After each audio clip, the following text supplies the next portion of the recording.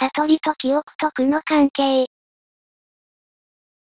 悟りとは記憶に依存した認識が滅し、本来の認識に回帰することと言えるものじゃ。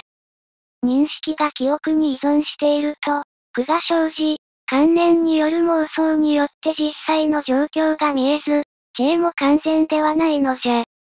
記憶に依存した認識が滅すれば、本来の認識が起こり、苦がすべてなくなり、観念による妄想を離れて実際の世界が見えるのじゃ。認識能力が記憶に依存していると、苦は次々に生じてしまうものじゃ。大きな事故にあったりすれば、人はそれを何かきっかけで何度も思い出し、悩み苦しむものじゃ。それが心の傷による苦なのじゃ。愛しいものと別れる苦も、そのものを記憶し、執着し続けることが苦になるのじゃ。憎いものと会わなければならない苦も、その憎しみを記憶し、持ち続けることが苦になる。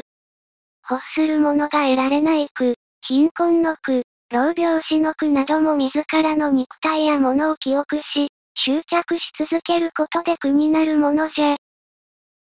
そのような苦は認識能力が記憶に依存しているゆえに、記憶によって何度も思い起こされ、自らの意志では止めることができないのじゃ。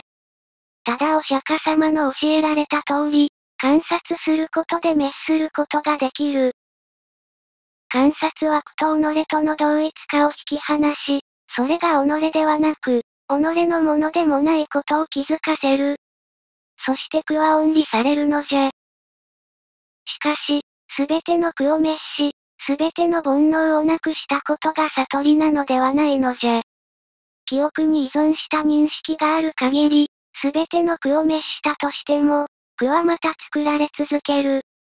自我を滅し、記憶に依存した認識をも滅したとき、一切の苦から永遠に解放されるのじゃ。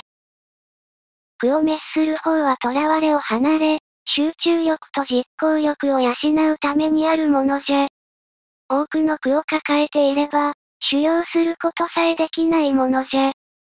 苦を滅し、安楽な境地に入ることで囚われもなくなり、落ち着いて修行できるのじゃ。そして原因から生じる演技の仕組みを知ることで、己という観念もまた原因から生じ、原因がなければ起こらないことを気づくためにも行うべきものなのじゃ。その方によって苦を滅したとしても、狩猟者はさらに精進し、一切の苦を永遠に滅する悟りへと至るのじゃ。